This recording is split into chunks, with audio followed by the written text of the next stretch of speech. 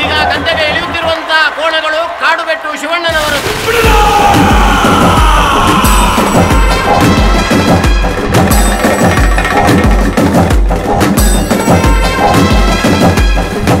ಕಥೆಯಲ್ಲಿ ಇನಿಷಿಯಲಿ ಕಂಬಳ ಇರಲಿಲ್ಲ. ಮಾಡ್ತಾ ಮಾಡ್ತಾ ಮಾಡ್ತಾ ಡೆವಲಪ್ ಮಾಡ್ತಾ ಶಿವನನ್ನು ಹೇಗೆ ಪ್ರೊಜೆಕ್ಟ್ ಮಾಡಬೇಕು? ಇವ್ನು ಇವನು ಇವನ್ ರೇಜ್ ಎಷ್ಟಿದೆ ಇವನಿಗೆ? ಆಲ್ಮೋಸ್ಟ್ ಯಾರೇ ನೋಡಿದ್ರು ಆನ್ ಸ್ಕ್ರೀನು ಅಲ್ಲೇ ಇದ್ದೀವಿ ಅಂತ ಅನಿಸ್ಬೇಕು. ಇಮರ್ಸಿವ್ ಎಕ್ಸ್ಪೀರಿಯನ್ಸ್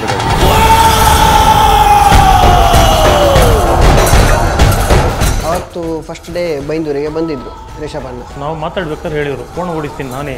ಎಂತ ಒಂದು ಚಾಲೆಂಜ್ ಆಗಿತ್ತು. ಇವ್ರ ಹತ್ರ ಆಗುತ್ತೇನೋ ಅನ್ನೋ ಭಾವನೆ ನನ್ನ ನನ್ನಲ್ಲಿ ಬಂದಿತ್ತು. ಫಸ್ಟ್ ಟೈಮ್ ಕರ್ಕೊಂಡು ಹೋದ್ರು. ಕಮಲ ಅಂದ್ರೆ ಹೆಂಗಿರುತ್ತೆ ಅಂತ ನೋಡೋದಕ್ಕೆ ಅವರು ರಿಯಲ್ ಪ್ರೊಫೆಷನ್ ಓಡಿಸಿದ್ರು ಅವ್ರು ಓಡಿಸಿ ನೋಡಿ ನಾನು ಶಾಕ್ ಆಗ್ಬಿಟ್ಟೆ. ಆ ಸ್ಪೀಡ್ ಮತ್ತು ಎನರ್ಜಿ ನೋಡಿ. ನಾನು ಹೇಳಿದೆ ನಿಮ್ಮಿಂದ ಸಾಧ್ಯನೇ ಇಲ್ಲ. ಇವ್ರಿಗೆ ಏನು ಪ್ರಾಕ್ಟೀಸ್ ಇಲ್ಲದೆ ಜಸ್ಟ್ ನಮಗೆ ಒಂದು ಫ್ಯೂ ಮ್ಯಾಕ್ಸಿಮಮ್ ಒನ್ ಮಂತ್ ಏನೋ ಟೈಮ್ ಇತ್ತು. ಒನ್ ಮಂತಲ್ಲಿ ಇವರು ಈ ಲೆವೆಲ್ ಪ್ರಿಪೇರ್ ಆಗಿ ಮಾಡೋದಕ್ಕೆ ಇಂಪಾಸಿಬಲ್ ಅಂದ್ಕೊಂಡೆ ನಾನು ಬೇರೆ ಏನೇನು ಮಾಡ್ಬೋದು ಅಂತೆಲ್ಲ ಮಾತಾಡ್ತಿದ್ದೆ. ನಾನು ಇದಕ್ಕೆಲ್ಲ ಏನಾದ್ರು ಮಾಡಬೇಕು ಅಂತಂದರೆ ಅದಕ್ಕೆ ಹಿಂದೇಟ್ ಹಾಕಲ್ಲ ಮಾಡೇ ಬಿಡ್ತೀನಿ ಅಂತ ಅನ್ಕೊಂಡೆ. ಫೇಸ್ ಮಾರ್ಫಿಂಗ್ ಮಾಡೋಣ ಇಲ್ಲ ಬಾಡಿ ಡಬಲ್ ಯೂಸ್ ಮಾಡೋಣ ಇಲ್ಲ ಕಮಲ ಸೀಕ್ವೆನ್ಸೇ ಪೋಸ್ಟ್ಪೋನ್ ಮಾಡೋಣ ಅಂತೆಲ್ಲ ಪ್ಲ್ಯಾನ್ ಮಾಡಿ ಫಸ್ಟ್ ಡೇ ನಮ್ಮ ಪ್ರಾಕ್ಟೀಸ್ ನೋಡ್ಲಿಕ್ಕೆ ಬಂದಿದ್ರು. ಕೋಣ ಯಾವ ಥರ ಓಡುತ್ತೆ ಏನು ಮಾಡುತ್ತೆ ಅದನ್ನೆಲ್ಲ ಕ್ಯಾಲ್ಕುಲೇಷನ್ ತಗೊಂಡಿದ್ದಾರೆ ಅವರು. ಇನಿಷಿಯಲಿ ಫಸ್ಟ್ ಅಟೆಂಪ್ಟ್ ಒಂದು ಹಗ್ಗ ಟ್ರೈ ಮಾಡೋಣ ಅಂತ ಅಂದ್ಕೊಂಡು ಅವರು ಹಗ್ಗ ಪ್ರಾಕ್ಟೀಸ್ಗೆ ಆಲ್ರೆಡಿ ಕೋಣ ಎಲ್ಲ ಸೆಟಪ್ ಮಾಡಿ ರೆಡಿ ಮಾಡಿದ್ರಲ್ಲಿ. ಫಸ್ಟ್ ಆಫ್ ಆಲ್ ಕೋಣದ ಹತ್ರ ಯಾರೇ ಬಂದರೂ ಅದನ್ನು ನೋಡಿ ಭಯ ಬೀಳ್ತಾರೆ. ಏನಕ್ಕಂದ್ರೆ ಕೋಣ ಆ ಥರ ಲುಕ್ಕಲ್ಲಿ ಇರುತ್ತೆ. ರೆಡಿ ಮಾಡಬೇಕು ಅನ್ನೋದಿದೆ ಬಟ್ ಕಾನ್ಫಿಡೆನ್ಸ್ ಬರ್ತಿಲ್ಲ. ಇನ್ನು ಒಂದು ಒಂದು ಮೈ ಚಳಿ ಬಿಡ್ತಾ ಇಲ್ಲ ಅಲ್ಲಿಗೆ.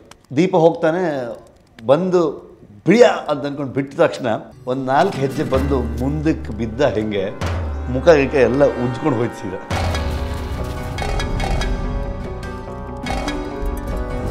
ಸರಿ ಇಬ್ಬರು ಬಿದ್ದರು ನನ್ನ ಕಣ್ಣು ಮುಂದೆ.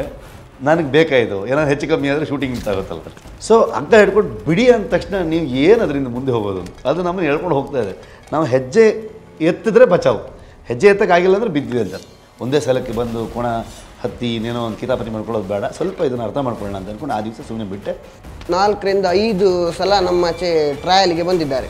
ಟ್ರಯಲ್ ಅಂದರೆ ನಾವು ಕ ಇಲ್ಲಿ ಉಡುಪಿ ಕನ್ನಡದಲ್ಲಿ ಕುದಿ ಅಂತ ಹೇಳ್ತೀವಿ. ಹಲ್ಗೆ ಹಿಂಗೆ ಹಿಡ್ಕೋಬೇಕು ಹಲ್ಗೆ ಮೇಲೆ ಹಿಂಗೆ ನಿಲ್ಲಬೇಕು ಇಷ್ಟು ಇಷ್ಟು ಅಗಲದ ಒಂದು ಅರ್ಧ ಅಡಿ ಇರುತ್ತೆ ಅದು. ಆ ಹಲ್ಗೆ ಮೇಲೆ ಒಂದು ಕಾಲು ಇಟ್ಕೊಂಡು ಇನ್ನೊಂದು ಕಾಲು ಇನ್ನೊಂದು ಹಲಿಗೆ ಒಂದು ಕಂಟಿನ್ಯೂಷನ್ ಒಂದು ಕೊಟ್ಟಿರ್ತಾರೆ. ಸೊ ಅಲ್ಲಿ ಇಟ್ಕೊಂಡು ಬಾಲ ಗ್ರಿಪ್ ಇರಬೇಕು. ಈ ಬಾಲ ಗ್ರಿಪ್ ಇರಬೇಕು ಅನ್ನೋದು ನಾನು ಫಸ್ಟ್ ಟೈಮ್ ಹೋದಾಗ ನನಗೆ ಮಹೇಶ ಮತ್ತು ಭಟ್ರು ಇಬ್ಬರು ಹೇಳಿದರು. ಬಟ್ ಕೋಣಕ್ಕೆ ಕಂಪ್ಲೀಟ್ಲಿ ಎಣ್ಣೆ ಹಚ್ಚಿ ಫುಲ್ ಜಾರ್ತಾ ಇರುತ್ತೆ ಅದು. ಸೊ ಅಲ್ಲೆಲ್ಲ ಕೆಸರೆಲ್ಲ ಮಾಡಿಕೊಂಡು, ಕೆಸರೆಲ್ಲ ಮಾಡಿ, ಎಲ್ಲ ಬಾಲೆಲ್ಲ ಗಟ್ಟಿ ಟೈಟಾಗಿ ಹಿಡ್ಕೊಂಡು ಹತ್ತಿದ್ದೀನಿ ಒಳಗಡೆ ಎದುರುಗಡೆ ತೋರಿಸ್ಕೊಳಕ್ಕಾಗ್ತಿಲ್ಲ ಒಳಗಡೆ ಫುಲ್ಲು ಅಲ್ಲಾಡ್ತಾ ಇದೆ full building strong basement weak ಥರ ಆಗಿದೆ. ಆಯ್ತಾ? ಅಷ್ಟೊಂದು ಕಾನ್ಫಿಡೆನ್ಸ್ ಇರಲಿಲ್ಲ. ಎಳ್ಕೊಂಡು ಹೋದ ತಕ್ಷಣ ತಕ್ಕಂಥ ಗ್ರಿಪ್ ಸಿಕ್ತು. ತುಂಬ ಬೆಂಡ್ ಆಗಿದೆ. ಅಂದರೆ ನಾರ್ಮಲಿ ಒಂದು ಹಿಡಿದ್ರೆ ಹಿಂಗೆ ಬರಬೇಕು ಅದಕ್ಕೆ. ಒಂದು ಪೋಸ್ಟರ್ ಲೈಕ್ ಟೀಸರ್ ಟ್ರೈಲರಲ್ಲಿ ಏನು ಕಾಣಿಸ್ತೀನಿ ನಾನು, ಅದು ಪ್ರಾಪರ್ ಕಾಣಿಸ್ಕೋಬೇಕಾಗಿರೋದು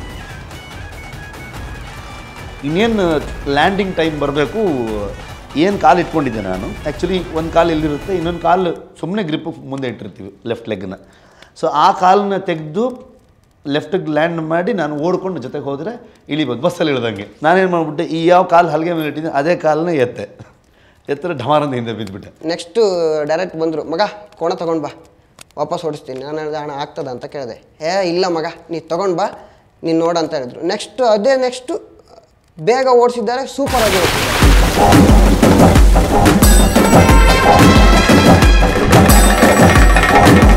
ಈ ಕೋಣ ಇಲ್ಲಿದ್ದರೆ ಇಲ್ಲಿದ್ನಲ್ಲ ಇಲ್ಲಿಂದ ಮೇಲ್ ಬರಕ್ಕೆ ಮೇಲ್ ಬರಕ್ಕೆ ಶುರುವಾದೆ. ಬಂದರೆ ಲಾಸ್ಟಿಗೆ ಬಂದು ನಿಂಗೆ ನಿಂತ್ಕೊಳ್ಳೋ ಥರದ್ದೊಂದು ಸಿಚುವೇಶನ್ ಬಂತು. ಥ್ಯಾಂಕ್ಸ್ ಟು ಪರಮೇಶ್ವರ್ ಭಟ್ರು ಮತ್ತು ಮಹೇಶ. ಬಿಡಿನ ಮನೆ ಗದ್ದೆ ತುಂಬ ಕೆಸರು ಗದ್ದೆ ಅದು. ನನ್ನ ಪ್ರಕಾರ ನಮ್ಮ ಆಚೆ ಒಂದು ಅರವತ್ತರಿಂದ ಒಂದು ಐವತ್ತು ಕಂಬಳ ಆಲ್ಮೋಸ್ಟ್ ಒಂದು ಐವತ್ತು ಕಂಬಳ ಆಗ್ತದೆ. ತುಂಬ ಕೆಸರು. ಅಲ್ಲಿ ಕೋಣ ಓಡಿಸೋದು ಅಷ್ಟು ಸುಲಭ ಇಲ್ಲ. ಯಾಕಂದರೆ ನಾನು ಸ್ವಂತ ಓಡಿಸಿದ್ದೇನೆ ನಮ್ಮ ಆಚೆಯವರೆಲ್ಲ ಓಡಿಸಿದ್ದಾರೆ. ಫಿಕ್ಸ್ ಬೀಳೋದಂತೂ ಫಿಕ್ಸು ಅದರಲ್ಲಿ. ನನಗೆ ಡೇ ಆಫ್ ಶೂಟ್ ತನಕ ನಂಗೆ ನಂಬಿಕೆ ಇರಲಿಲ್ಲ. ಇವ್ರ ಕೈಲಿ ಅನ್ಕೊಂಡಿದ್ದ ಲೆವೆಲಲ್ಲಿ ಆಗುತ್ತೆ ಅಂತ.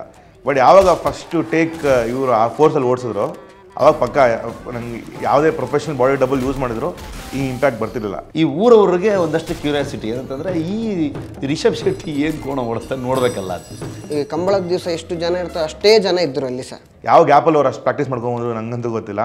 ಸೊ ಒಂದು ಫುಲ್ ಡೇ ಶೂಟ್ ಮಾಡ್ತೀವಿ. ಬೆಳಿಗ್ಗೆ ಆ ಹನ್ನೊಂದು ಗಂಟೆ ಶುರು ಆದರೆ ಮಾರನೇ ದಿವಸ ಹನ್ನೊಂದು ಗಂಟೆಗೆ ನಾನು ಕೋಣ ಓಡಿಸೋದು ನಿಲ್ಲುತ್ತೆ. ಈಗ ನಮ್ಮ ನಾರ್ಮಲಿ ಗದ್ದೆ ಕಂಬಳ ಅಂತ ಹೇಳ್ತೀವಿ ನಾವು. ಸಾಂಪ್ರದಾಯಿಕ ಕಂಬಳದಲ್ಲಿ ನಾವು ಕೋಣ ಓಡಿಸ್ತೀವಿ. ನಾಲ್ಕರಿಂದ ಒಂದು ಐದು ರೌಂಡು ಜಾಸ್ತಿ ಅಂದರೆ. ಅದಕ್ಕಿಂತ ಜಾಸ್ತಿ ಓಡಿಸೋಕೆ ನಮ್ಗೆ ಆಗಲ್ಲ. ಸಾಂಪ್ರದಾಯಿಕ ಕಂಬಳದಲ್ಲಿ ಓಡಿಸುವ ರೀತಿಯಿಂದಲೂ ಸ್ವಲ್ಪ ಉತ್ತಮ ರೀತಿಯಲ್ಲಿ ಓಡಿಸಿದ್ದಾರೆ.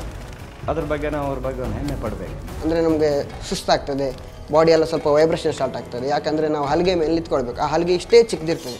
ಅದ್ರ ಮೇಲೆ ಬ್ಯಾಲೆನ್ಸ್ ಮಾಡಬೇಕು. ಈ ಸಿನಿಮಾದ ಶೂಟಿಂಗ್ ಹೆಂಗಾಗುತ್ತೆ ಅಂದರೆ ರಿಪೀಟೆಡ್ಲಿ ನಮ್ಗೆ ಬೇಕಾಗಿದ್ದ ಆ್ಯಂಗಲ್ಗಳು ತೊಗೊಂಡು ಹೋಗ್ತಾ ಹೋಗ್ತೀವಿ. ಇದೊಂದು ಸ್ವಲ್ಪ ಬೇಕು ನಮಗೆ ಇದು ತೊಗೊಂಡ್ವಿ. ಫ್ರಂಟಲ್ ಒಂದು ಸ್ವಲ್ಪ ಬೇಕು ಅದಕ್ಕೊಂದು ತೊಗೊಂಡ್ವಿ.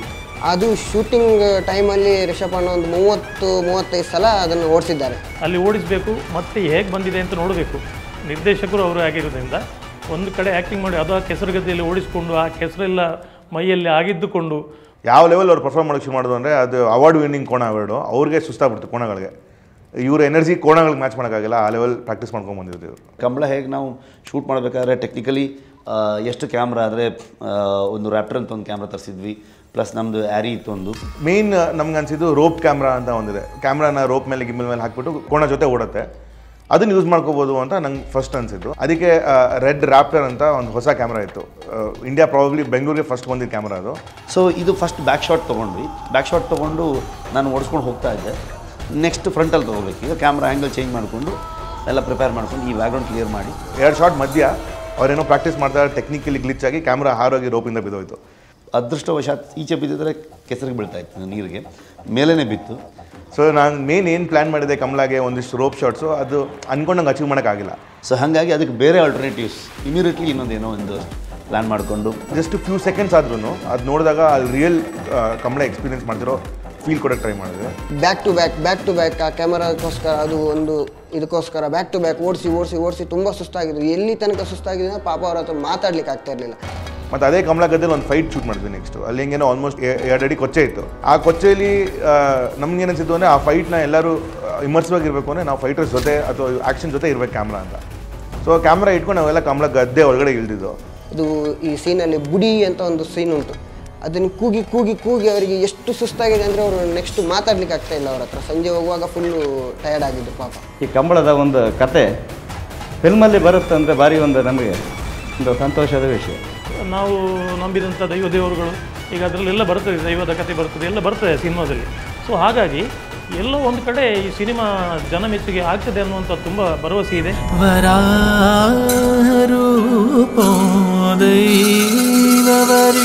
इष्टं वरारूपो दैववरिष्ठम्